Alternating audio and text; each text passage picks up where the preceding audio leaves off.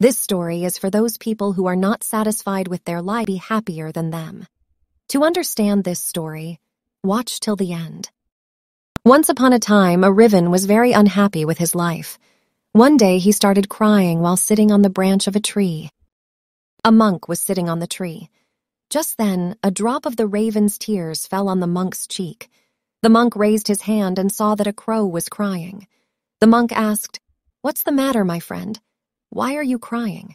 The raven said, The oh wise one, I am very upset with my life. No one loves me.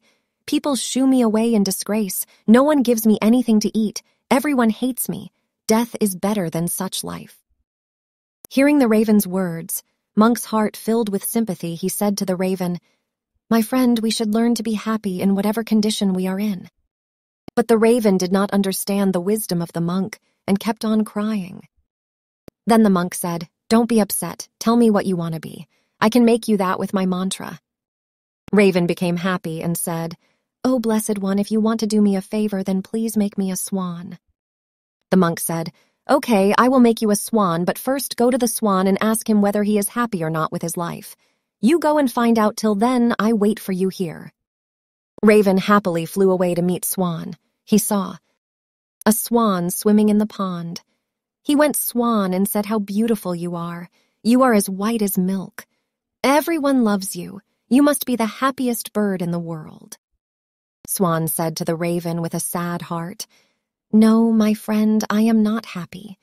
There are so many beautiful colors in the world. But I don't have any color white is nothing color. I think a parrot must be the happiest bird in the world. He is so colorful. Hearing this, the raven flew away from there and reached the parrot. He said to the parrot, Oh, parrot, you are so colorful and beautiful. You must be the happiest bird in the world. The parrot said to the raven, No, my friend, I am not happy. People keep parrots in a cage. I am always afraid that someone may hold me and lock me in a cage. I think the peacock is the happiest bird in the world. Hearing this, the raven flew away around looking for a peacock.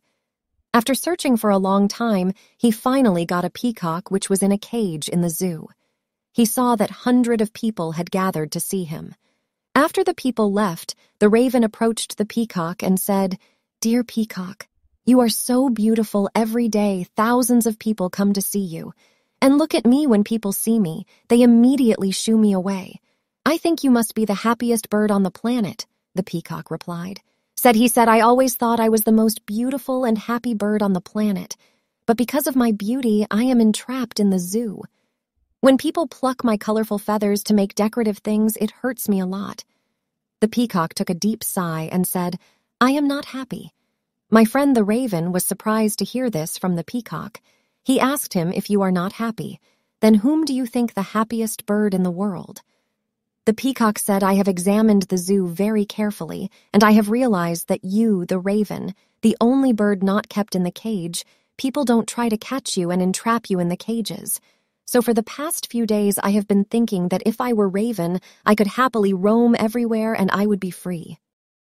Hearing this, the raven flew away from there, and today for the first time he was feeling happy to be raven. He came back to that sage and said, O wise one, I do not want to be anything else. I am fine what I am. If you feel our lives, we will find that this is our problem too. We make necessary comparison with others, and then become sad and curse ourselves.